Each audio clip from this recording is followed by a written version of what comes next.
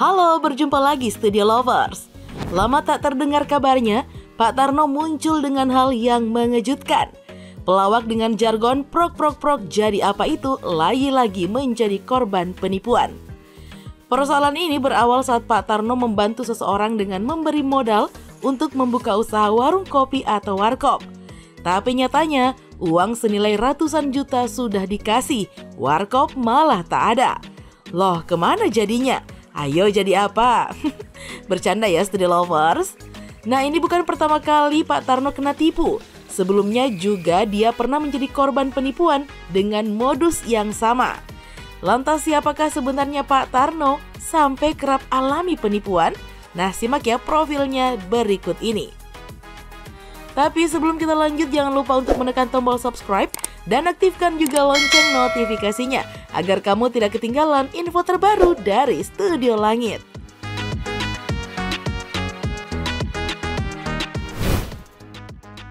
Biodata Pak Tarno lahir di Losari, Brebes pada tanggal 6 September 1950 dengan nama Sutarno. Dia mengalami masa kecil yang penuh dengan tantangan. Keluarganya terjerat dalam lingkaran kemiskinan di Brebes setelah sang ayah meninggal dunia dan ibunya pergi karena terpikat oleh seorang pria dari desa lain. Nah, kondisi ini membuat Pak Tarno kecil menghadapi kesulitan finansial hingga pada suatu waktu dia bahkan tidak mampu membeli beras dan terpaksa harus mengandalkan jagung sebagai sumber makanannya. Nah untuk mengatasi kehidupan yang keras, Pak Tarno kecil memutuskan untuk merantau ke Jakarta sendirian saat masih berusia 10 tahun. Perjalanan ini dilakukannya dengan menumpang kereta barang menuju Jakarta. Sayangnya dalam perjalanan ini, Sutarno tidak memiliki cukup uang untuk membayar tiket penuh, sehingga harus berbagi kereta dengan angkutan kayu dan sapi. Pak Tarno mengawali perjuangannya dengan berjualan minyak tanah keliling dan kemudian beralih menjadi penjual martabak yang menjadi jajanan favorit anak-anak setibanya di Jakarta. Di tengah persaingan, Pak Tarno memiliki trik khusus untuk menarik perhatian anak-anak agar membeli dagangannya, yaitu dengan memberikan pertunjukan sulap gratis setelah stok dagangannya habis. Masa-masa awal di Jakarta membentuk kisah hidup yang penuh perjuangan bagi Pak Tarno yang tidak hanya mahir dalam berjualan, tetapi juga memiliki bakat sulap yang kemudian membawa perubahan besar dalam hidupnya.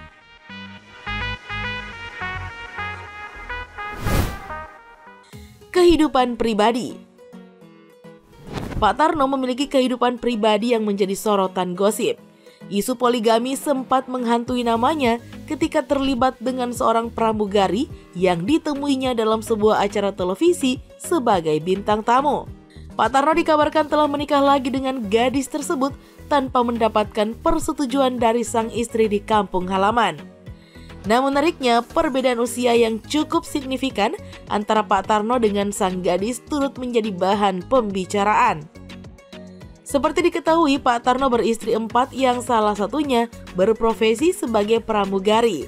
Pak Tarno rupanya mulai menikah di usianya yang ke-14 tahun.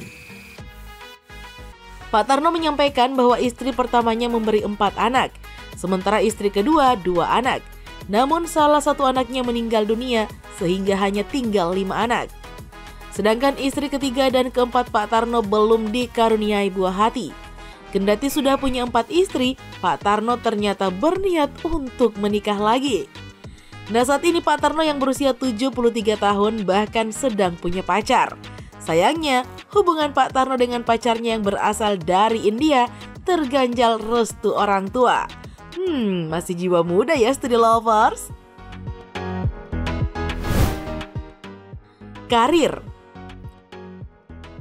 Pak Tarno mendapat kesempatan untuk bergabung dalam ajang pencarian bakat The Master Season 3.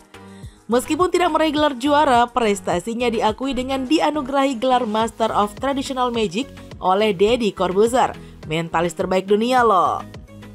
Nah, kehidupan Pak Tarno mengalami perubahan drastis lulus dari ajang pencarian bakat tersebut. Ia tidak hanya menjadi bintang tamu di berbagai acara televisi, tetapi juga terlibat dalam beberapa judul sinetron. Pak Tarno yang dulunya hidup dalam keterbatasan ekonomi berhasil merubah nasibnya melalui karir barunya sebagai seorang pesulap. Nah kini ia mampu memiliki mobil, tanah, dan bahkan berhasil mengelola bisnis warnet. Transformasi ini membuktikan bahwa bakat dan dedikasi dapat membawa perubahan signifikan dalam kehidupan seseorang. Pesulap yang dikenal dengan nama Pak Tarno bercerita, dia yang menjadi korban penipuan oleh manajernya. Bukan hanya sekali, Pak Tarno mengaku berkali-kali ditipu.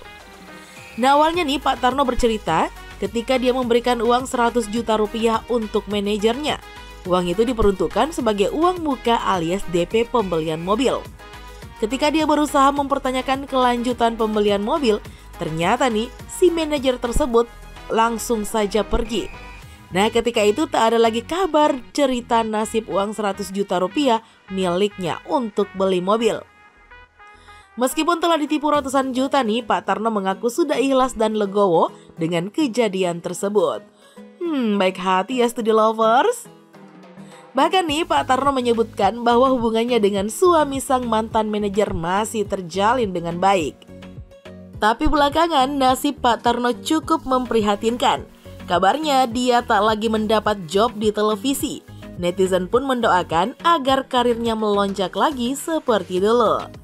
Nah kita doakan ya Studi Lovers, semoga pelawak yang satu ini selalu sehat dan masalahnya cepat terselesaikan. Nah sekian dulu ya informasi kita kali ini. Jangan lupa untuk terus mendukung kami dengan cara menekan tombol subscribe, like, komen, dan share video ini. Sampai jumpa lagi di video berikutnya. Bye-bye.